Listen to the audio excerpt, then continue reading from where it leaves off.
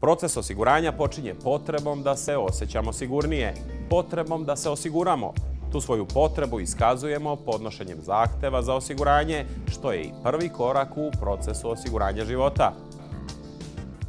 Ovaj zahtev podnosi budući osiguranik na osnovu svojih potreba ili ponude upućene od osiguravajuće kuće ili njenih zastupnika ili posrednika.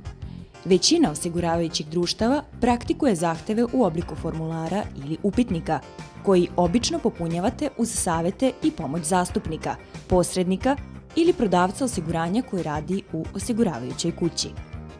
Za osiguranje života neophodno je da zahtev bude u pisanoj formi, a sve što vam je potrebno od dokumenta je važeća lična karta. U nekim osiguravajućim društvima ovaj zahtev se naziva i ponudom za zaključenje ugovora o osiguranju ili jednostavno ugovorom o osiguranju i sadrži sve osnovne podatke o osiguraniku, odnosno vama, a njegov sastavni deo su i opšti uslovi osiguranja. Takođe sadrži i podatke o zdravstvenom stanju korisnika osiguranja, čija tačnost se proverava zdravstvenim pregledima. Za istinitost podataka i zahteva za osiguranje odgovarate vi i unošenje lažnih podataka povlači odgovornost u smislu ništavnosti ugovora.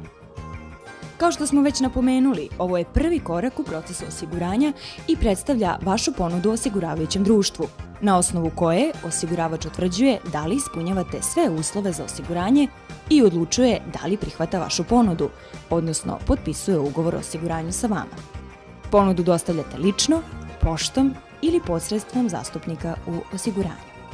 Kada primi vašu ponudu, osiguravač u roku od 8 dana može da je prihvati, da traži dodatna objašnjenja, da uslovi zaključenje ugovora preduzimanjem određenih mera prevencije i ograničenja, kao i da ponudu odbije. Ukoliko se prihvati vaša ponuda ili odgovor ne stigne u predviđenom roku, smatra se da je ugovor o osiguranju potpisan. Ovo je drugi korak. O prihvatanju vašeg zahteva odlučuje aktuarska služba u osiguravajućoj kući. Oni određuju vašu premiju, odnosno cenu vašeg osiguranja, a moguće je da zatraže i dodatne zdravstvene preglede kako bi precizno utvrdili vaše zdravstveno stanje i bili u mogućnosti da predvide eventualne rizike. Na osnovu ugovora o osiguranju kao treći korak u procesu osiguranja, osiguravač pristupa izradi vaše polise osiguranja koja predstavlja osnovni dokaz o ugovorenom osiguranju. Polisa osiguranja prati posao osiguranja kao osnovna pismena isprava, određujući dužnosti i obaveze učesnika.